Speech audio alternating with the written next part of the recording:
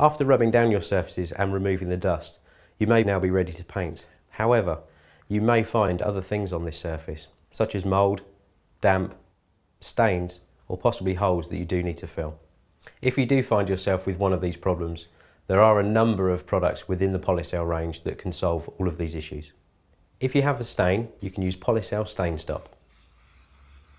If you find mould, you can use 3-in-1 mould killer. If you have damp, an ideal product solution would actually be Damp Seal.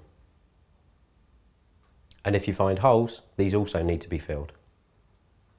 Every home can have holes and there are a number of things that can cause this.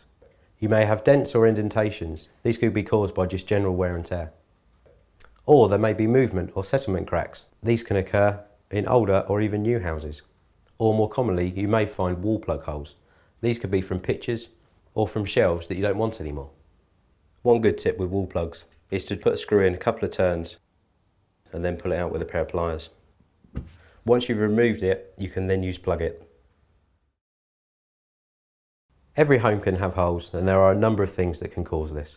You may have dents or indentations. These could be caused by just general wear and tear. Or there may be movement or settlement cracks. These can occur in older or even new houses. Or more commonly, you may find wall plug holes. These could be from pictures or from shelves that you don't want anymore. So when it comes to filling holes or cracks, we need to make them worse before making them better. We need to dig the hole out to make the inside of the hole bigger than the outside. This will actually allow the filler to go into the hole evenly, dry evenly, without any chance of it falling out. Once you've done this, it's now time to get the vacuum cleaner out. Remove any dust that there may actually be sitting left in the hole. This will actually interfere with the way that the filler dries. Then take a damp sponge or brush to the surface, allowing it to soak into the plaster.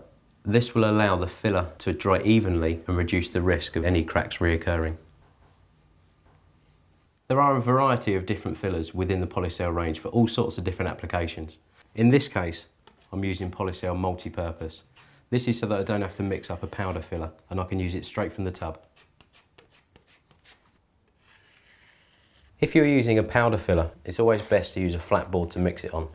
This will allow you to mix the filler up nice and evenly with a nice creamy consistency.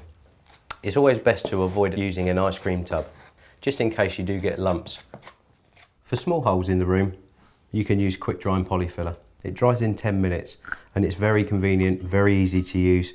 You can just squeeze it straight out onto the knife and then fill your hole without need of mixing. And it's done.